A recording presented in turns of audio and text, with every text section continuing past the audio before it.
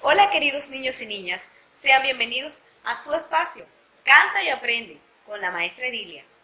El día de hoy comenzamos una serie de tutoriales para el uso y cuidado adecuado de la voz.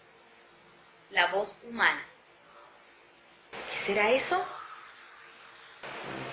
Es el sonido emitido por los seres humanos a través de las cuerdas vocales cuando éstas están sanas. Ahora bien, ¿de qué forma se produce?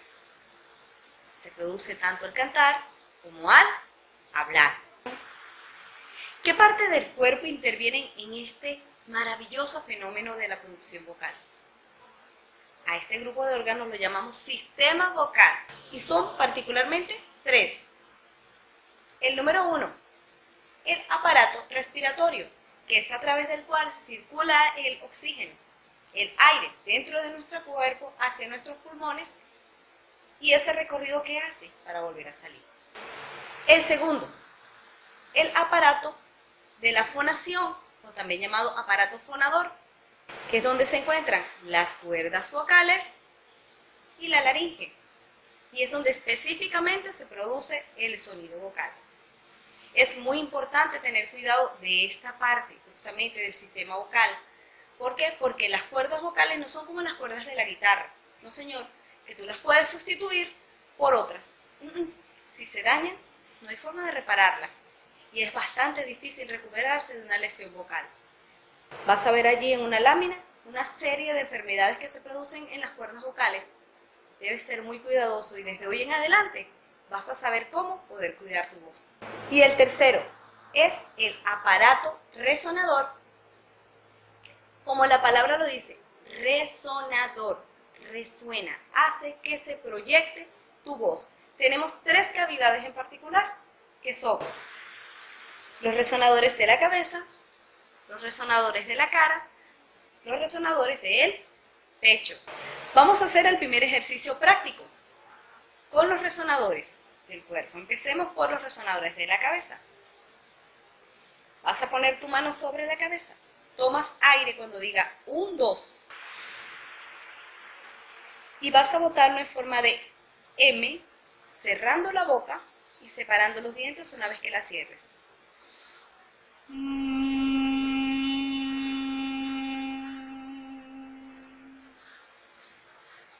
Ahora vamos a probar los resonadores de la cara. Vas a poner tus manos sobre tu cara, tomas aire.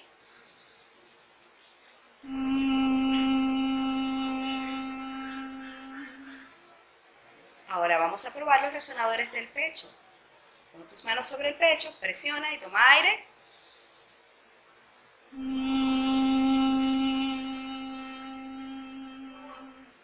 ¿Sentiste la vibración en tus manos? Esa es la resonancia que produce este aparato. Los tres forman parte de que se pueda realizar el sonido vocal. Ya que estás consciente de todos los órganos que forman parte del sistema vocal, vamos al siguiente paso, es cómo se produce el sonido vocal. Es a través del aire. Y para ello tenemos que hacer una serie de ejercicios. Tomas aire al decir un 2, lo botas al decir 3 y, y siente que se te desinfla el estómago. Haz conciencia de que no se te levante el pecho, toma aire, bótalo. Trata de que sea aquí, a nivel abdominal. Toma aire. Bótalo. Terminar con una linda canción. ¿Qué te parece? Se llama Arroz con leche. Tú la conoces, ¿verdad? Siempre practica bien la letra de una canción antes de cantarla. Arroz con leche, me quiero casar. Sea esta o cualquier otra canción, siempre practica muy bien articular cada palabra correctamente para que tengas buena dicción. Esto también te va a servir cuando vayas a hacer una exposición en la escuela.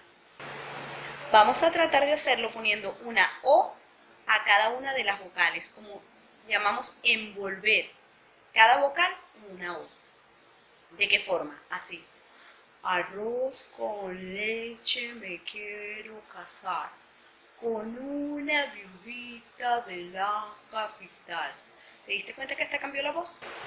De esta forma vamos a terminar este video, invitándote a volver a una nueva muestra para ti de Canta y Aprende. Vamos, juntos. Arroz con leche me quiero casar con una viudita de la capital que sepa coser, que sepa bordar, que ponga la mesa en su santo lugar. Recuerda, quédate en casa.